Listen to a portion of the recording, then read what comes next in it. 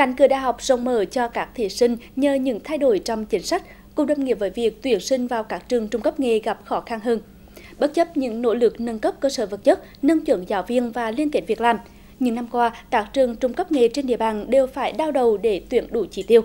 Hệ quả nhãn tiền là tình trạng thừa thầy, thiếu thợ, lệch lạc trong cơ cấu lao động sẽ ngày càng trầm trọng hơn. Phóng sự sau sẽ cho thấy rõ thực trạng này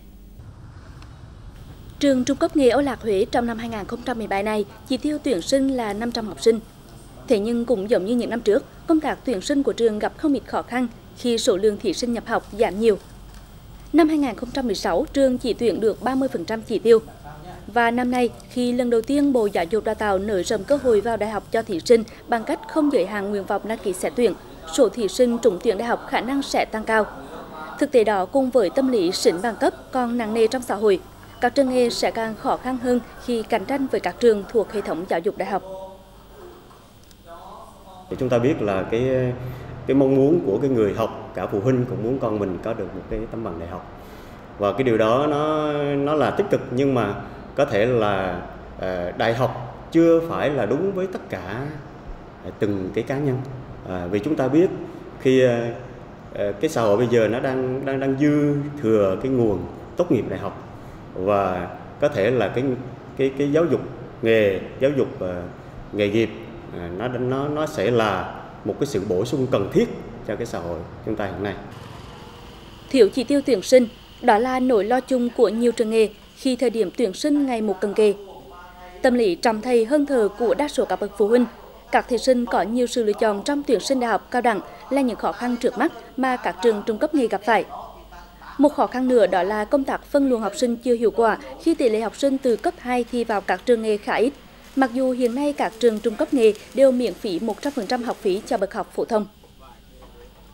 Việc ờ, phân luồng học sinh là chưa rõ ràng, tỷ lệ bao nhiêu phần trăm học sinh ờ, tốt nghiệp trung học cơ sở được vào cấp 3 và số còn lại là đi học nghề là chưa chưa chưa rõ ràng. Về phía phụ huynh là khi họ cứ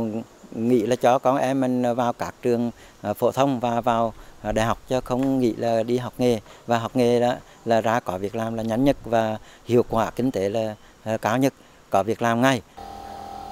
Lâm vào nhóm yếu thế bởi quan niệm trọng thầy hơn thờ. Dù số người tốt nghiệp trường nghề có việc làm luôn ở mức cao, năm 2016 là hơn 70%. Hàng năm, các trường nghề phải triển khai nhiều chính sách riêng nhằm thu hút học sinh như miễn giảm học phí, học bổng đối với những ngành nghề độc hại, khó tuyển sinh, nghề trọng điểm quốc gia, bắt tay với doanh nghiệp tìm kiếm đầu ra, cam kết hoàn tiền nếu không có việc. Nhà trường hiện nay là à, đang đào tạo là các cái nghề như là nghề điện công nghiệp, điện tử công nghiệp, rồi máy thời trang, rồi à, à, cơ khí hàng và chế biến món ăn thì sắp đến với cái mạng là công nghệ thì nhà trường sẽ à, đi vào cái, cái về công nghệ vi tính và về là sử dụng và chế các cái loại thiết bị tự động. Trên cơ sở như vậy thì nhà trường đào tạo cho học sinh để sau này học sinh khi mà ra tốt nghiệp ra trường là tiếp cận được với các cái công nghệ tiên tiến và trên cơ sở đó thì nhà trường sẽ ờ, liên kết với các cái ờ, cơ sở doanh nghiệp và từ đó là học sinh ra để có việc làm ờ, tốt hơn và nhà trường sẽ giới thiệu các em sau khi mà các em tốt nghiệp trung cấp và nhà trường sẽ giới thiệu cho các doanh nghiệp để có việc làm. Để công tác đào tạo nghề thực sự phát huy hiệu quả, xứng với vai trò quan trọng trong công tác đào tạo nguồn nhân lực chất lượng cao cho đất nước. Về lâu dài, theo nhiều chuyên gia trong lĩnh vực dạy nghề, cần thực hiện tốt việc dự báo thị trường, thực hiện hiệu quả công tác phân luồng học sinh sau khi tốt nghiệp trung học cơ sở, có kế hoạch đào tạo bồi dưỡng cho giáo viên, giảng viên đạt chuẩn giáo dục nghề nghiệp, đẩy mạnh công tác truyền thông để người dân có nhận thức đúng đắn hơn về vai trò, vị trí của đào tạo nghề. Một điều quan trọng khác là tìm cách thúc đẩy sự vào cuộc thực chất của các doanh nghiệp đối với công tác đào tạo nghề.